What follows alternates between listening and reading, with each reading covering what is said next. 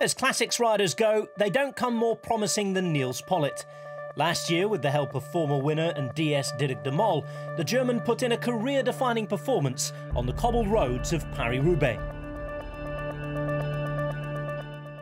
I was already confident that I will do a good Paris Roubaix. In one moment, I was thinking, okay, maybe I just try to go.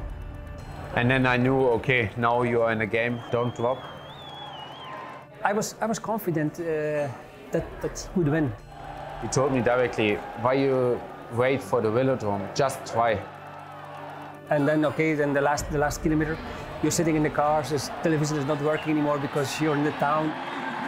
Then I was also, I have to say, too nervous. And actually, I come from the track, but I did uh, also a big mistake in the sprint. I was going up already in the corner, and uh, he just went, and I had no chance anymore.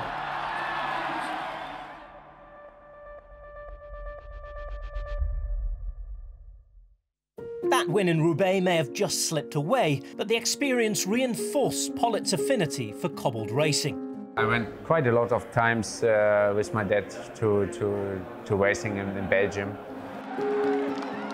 They fits me better, some couples, and, and I really like the, the racing in Belgium.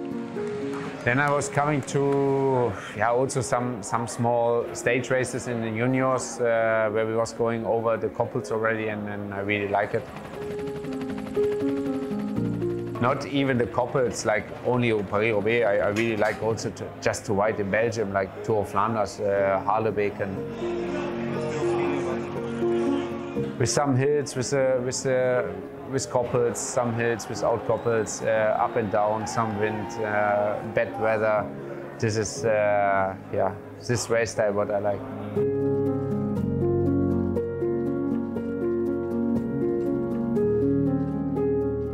Nils is a rider that I uh, followed already like four years. His name was uh, coming back in, in, in, races on the under 23 races, and uh, especially the way how he's racing. It's, uh, it's somebody, um, it's a fighter, and you, could see straight away. It's, it's uh, someone with, with a big engine, and this is what you need to be a classic rider.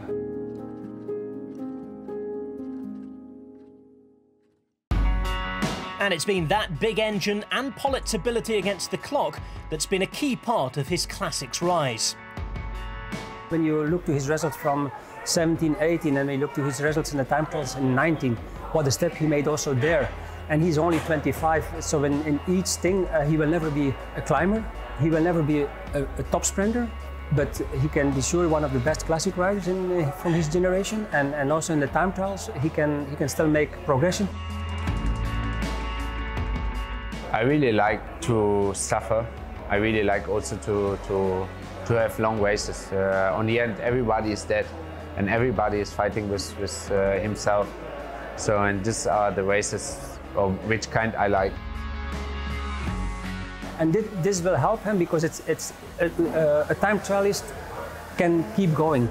Once they have, for example, a gap of 20, 30 meters, most of the time they're gone. And, and also, like with Nils, I see it happen um, in, in, coming years that, that, that, this will happen also. He will go one day and they don't going to see him back.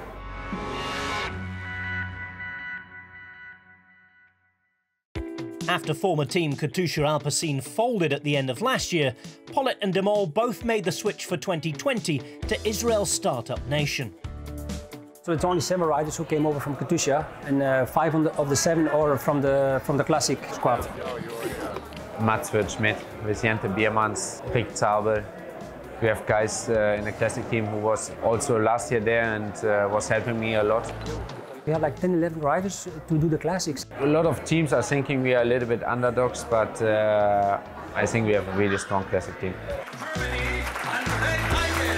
Nils and Andre together now in one team, so uh, they are they are from the same town. They train a lot together, so they know each other very well.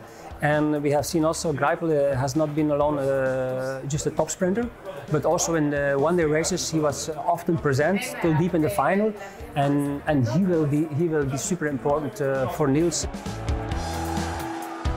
I have seen him uh, growing this year, um, not only as, a, as an athlete, but also uh, he becomes more and more like a, like a leader.